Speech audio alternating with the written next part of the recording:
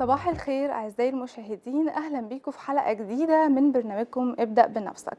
النهاردة حلقة جديدة حلقتنا هتكون مفيدة جدا ليكم. هنتكلم فيها مع بعض عن أسباب الألم النفسي اللي بيمر بيه الشباب والبنات آه، من خلال المعاملة القاسية أحيانا اللي بيشوفوها من الآباء. آه، هنتكلم فيها مع بعض عن الأسباب اللي بتؤدي للألم النفسي وهنتكلم كمان مع بعض عن طرق العلاج إزاي نقدر نعالج نفسنا لو في أي خلل بيمر بيه الشاب أو البنت آه، زي فقدان الثقة آه، وما شابه هنطلع لفاصل ونرجع نكمل مع بعض أهم الأسباب وإيه طرق ال- الوقاية منها وإزاي نبدأ إن إحنا نعالج الموضوع بشكل صحي وبشكل سليم.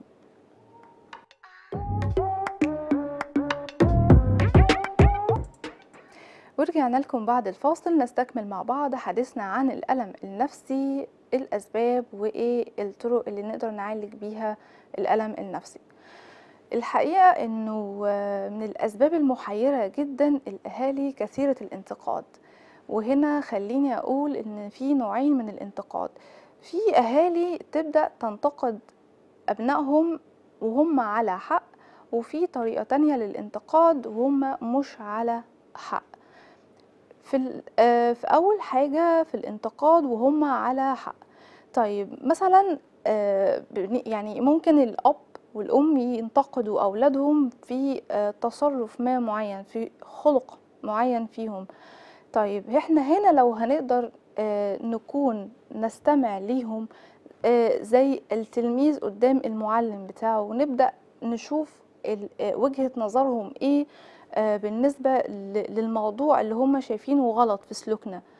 آه، مثلا في أمر معين ان آه، إن أنا مثلا مش آه، يعني مش بذاكر كويس مش بجيب مجموع كويس يبدأ في انتقاد إنه مثلا آه، ابن عمك آه، مثلا بقى في طب بقى في هندسة وإنت آه، مستواك بقى متأخر جدا.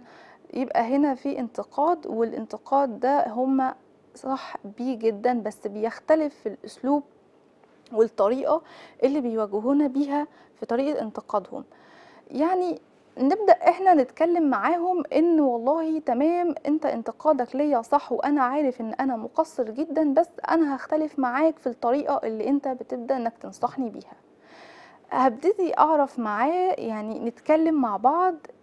أنا مثلا دخلت علمي وأنا مستوايا مش مش أعلى حاجة إن أنا أدخل علمي إن أنا بقى أبقى مهندس أو أبقى دكتور.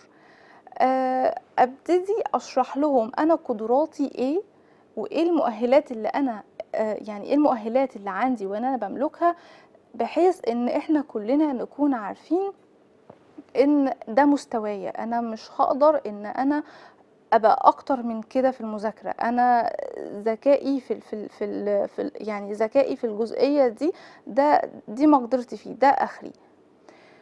أنا ده هدخل أدبي؟ لأ أدبي خلاص أنا ده مستوايا فيه هيكون كويس أنا راسم لنفسي خطة معينة عارف إن أنا شايف نفسي في الكلية الفلانية آه، فهبتدي إن أنا أشرح لهم وأتكلم معاهم.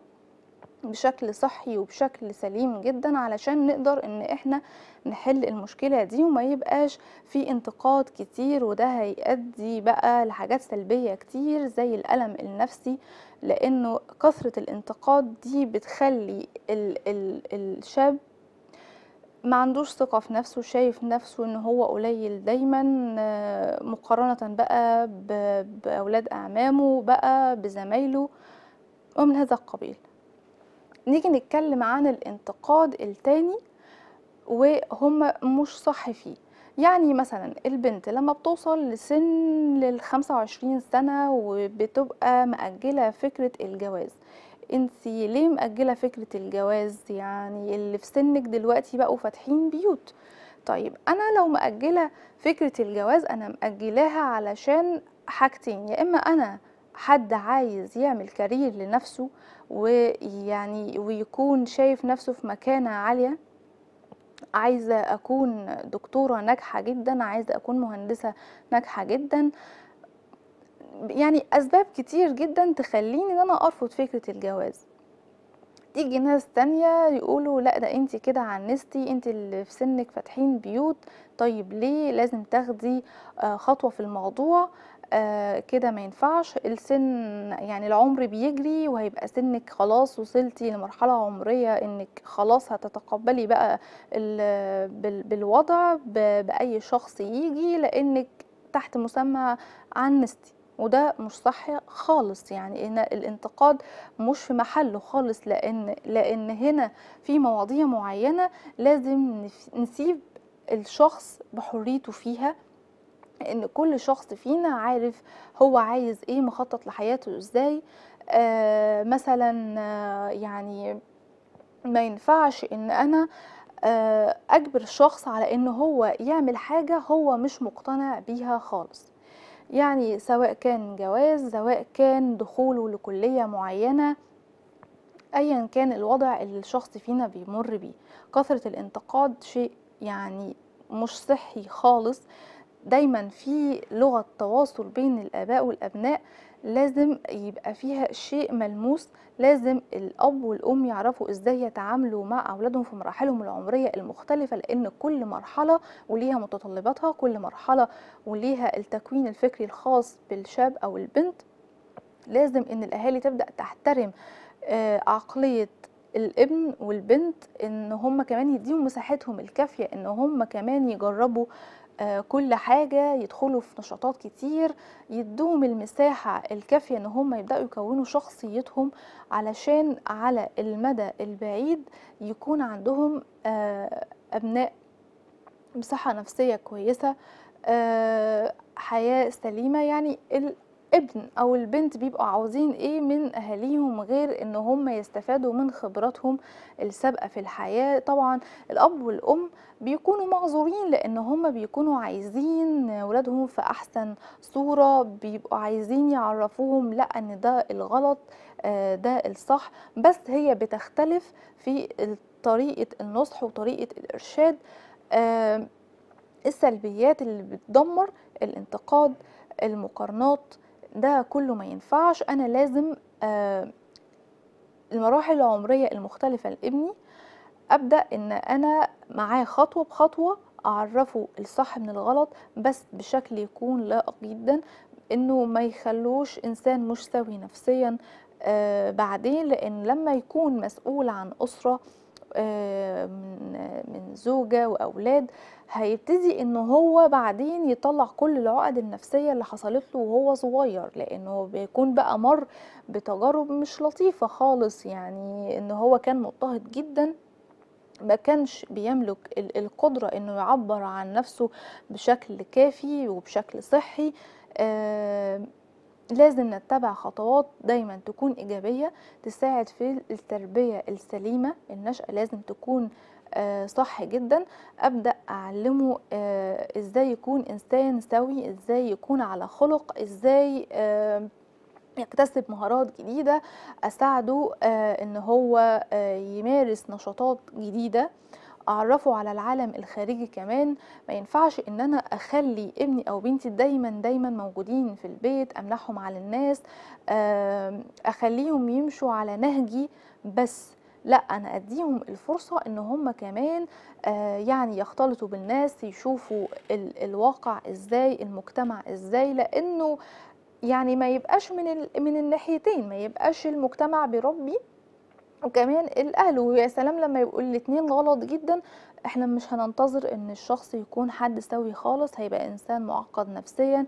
إنسان ما عندوش ثقة في نفسه، آآ إنسان دايمًا عنده نقص، هيطلّع كل عُقده آآ مع الناس، سواء بقى كان في شغل، سواء كان مع أولاده مستقبلًا، آآ كل الحاجات دي إن إحنا لازم نحطّها بالحسبان، وأطفالنا في أعمار آآ يعني سنية صغيرة، لإن ال الطفل آآ في السن الصغير ده بيكون الموضوع مش سهل جدًا إن أنا أعلّمه صح، لإن أنا لمّا أأسّسه من صغره صح، ده هيساعدني بعدين في مراحله العمرية المختلفة، هابقى أنا متطمنة لإن أنا عارفة إن أنا آآ آآ ادّيت مساحة آآ ليه إن هو يعبّر عن احتياجاته، يعبّر عن رأيه، مثلا الأم و- وطفلها الرضيع. يعني أنا عايزة أغير له مثلا أو كده وهو مش حابب فكرة إن أنا ألمسه.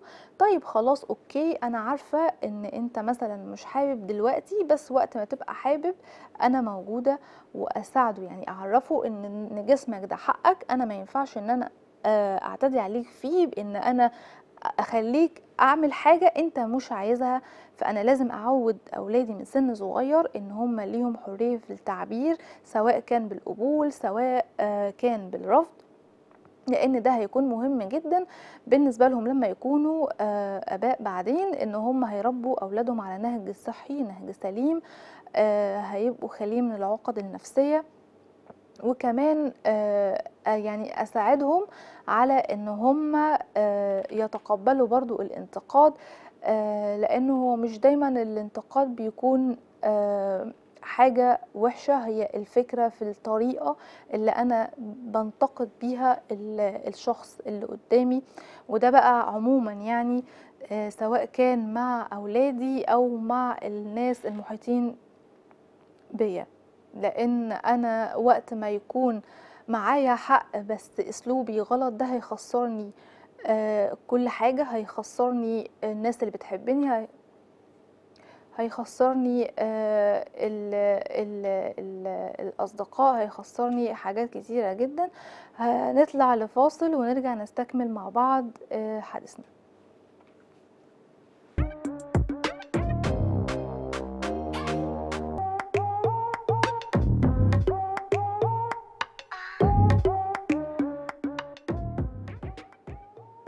ورجعنا لكم بعد الفاصل نستكمل مع بعض حديثنا عن الألم النفسي وعن الانتقاد.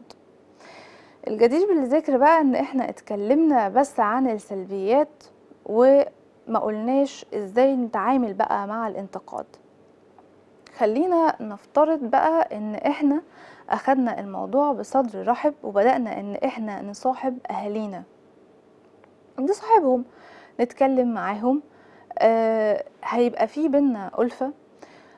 بعد كده مهما كان الانتقاد أو مهما كان ال- الطريقة أو الأسلوب اللي هما بيتكلموا بيه خلينا دايما في المية إن هما عاوزين بس إن إحنا نكون أحسن ناس في الدنيا آه خايفين علينا. هما مش عايزين إن إحنا نمر بكل التجارب اللي هما مروا بيها. هما بيدونا خلاصة التجارب دي على طبق من ذهب. فإحنا نحاول إن إحنا نستمع ليهم زي ال- التلميذ وهو بيسمع للمدرس بتاعه. ويا حبذا بقى إن هي لو جات في وقت بقى للشاب زي إنه في وقت إنه هيجي يتجوز بقى ويفتح بيت يعني هيدخل يتجوز ويفتح بيت وهو معاه كم هائل جدا من ال- الصفات السيئة.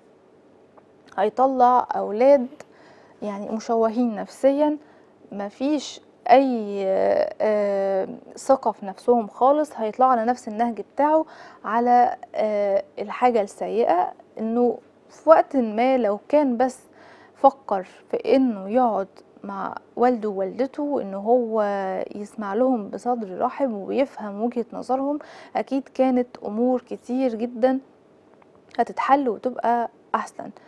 فالانتقاد بلاش انتقاد لازم نكون مؤمنين إن إن ربنا مدي لكل واحد فينا طاقة معينة وقدرة معينة آه إن هو يقدر يستكمل بيها حياته آه ليه قدرة معينة في إن هو ينجز آه شيء ما سواء كان شغل سواء كان دراسة.